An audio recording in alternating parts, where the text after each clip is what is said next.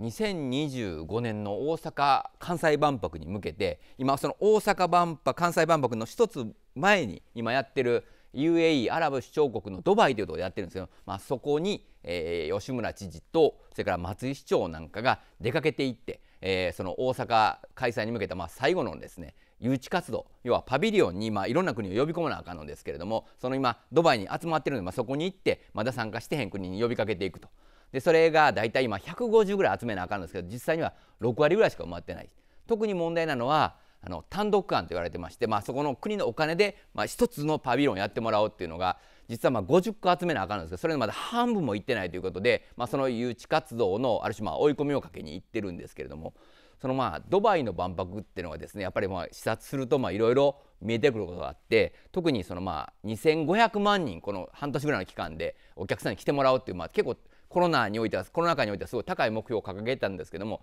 実際のところこれまでにもう2300万人。でこの週末で100万人ぐらい集まったと。でこれどうやってそんな多くの人数を入れてんやろうというところが気になったんですけども実はまあ今のこの状態なので、まあ、海外からいっぱいお客さん呼ぶというのは難しいので、まあ、主にその、えー、UAE の国内の人にまあ何回も来てもらうというような、えー、作戦であとはまあ感染対策なんかも、えー、例えばその24時間どこでも PCR を受けられるとかで国民の半分ぐらいがもう、えー、3回目のワクチン接種終わってるとか。で従業員はみんな2回接種してるとか。そういうこともありますしあとはその、まあ、UAE とかドバイによくあるんですけども、まあ、日中はものすごい暑いので、まあ、夕方からまあ人の動きが活発になるんですけどもそのパビリオンも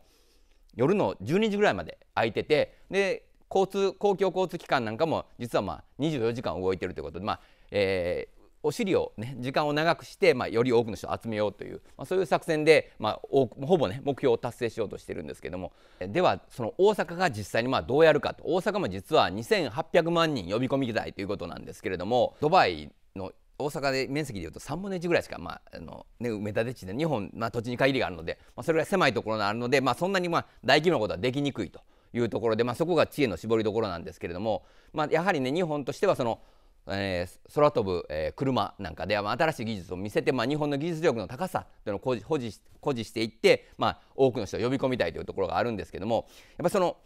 エンターテインメントだけではですねなかなかこの多くの人を呼び込むというのはちょっと難しいのかなと思って、まあ、一つねこれ、まあえー、万博の本来の趣旨ではないんですけれども、まあ、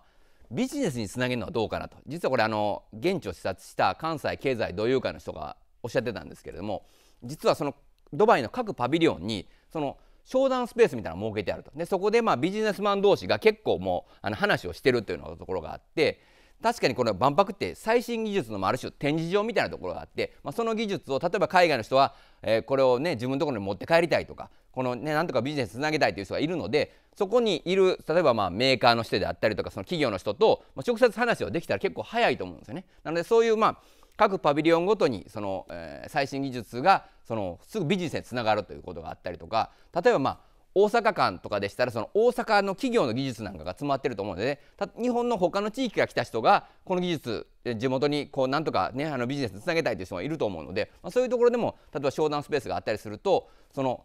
展示だけじゃなくてそこが本当にまあビジネスの場になるということなので、まあ、一つねあの新しいビジネス客もただの観光客だけじゃなくてビジネス客も呼び込めるということで、まあ、新たなこの万博の活用になるんちゃうかなそしてまあ多くの人に来てもらえるんじゃないかなというふうに思います。でこの、まあ、ドバイっていう今やってるねドバイという場所なんですけども私があの東南アジアで特派員してた頃はですねあの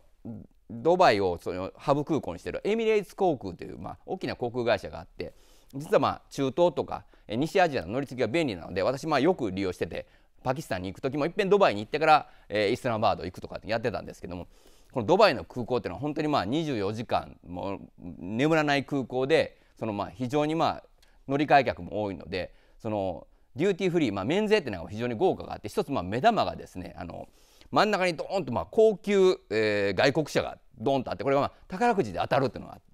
でこれ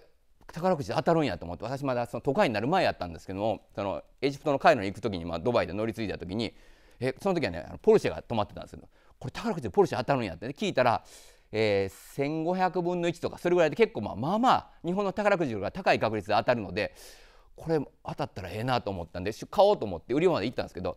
値段がね多分当時で1万2 3 0 0円で今多分1万5 0 0円ぐらい冷凍によってはしてるかもしれない。1万5000円かっていうことで、まあ、ほんまその時はちょっと躊躇してやめてもうたんですけども、えー、実際にはこれねあの日本人の方でも結構何人か当たってる方がいらっしゃるので、まあ、ぜひねこれドバイに行かれた時には一つね他には1億円が当たる日本の宝くじよりも1億円が当たる確率が高い宝くじとかもあるんで、まあ、ぜひねあの挑戦してみはったらいいと思うんですけど一つ注意事項があってですねそれあの当たった後にですねホームページ上に、えー、国籍と名前がパーンと出るんですよこの人当たりましたっていうので日本みたいにこうあの当たっても内緒にしとくことができへんので、まあ、そこだけちょっと注意してほしいなというふうに思ってます。